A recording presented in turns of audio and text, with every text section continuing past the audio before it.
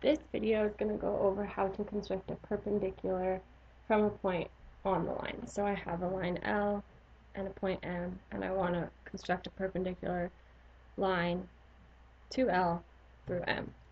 So I'm going to take my compass and with M being my center swing an arc that goes through L twice.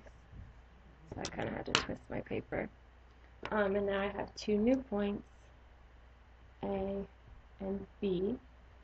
And basically what I've done now is I've created um, a segment with a midpoint M. So now I'm just going to draw a perpendicular bisector through that point M. So I need my compass to be greater than halfway through. And I'm going to draw an arc that goes above it and below it from B, and another one that goes above and below it from A. Then if I connect my points right here, C and D,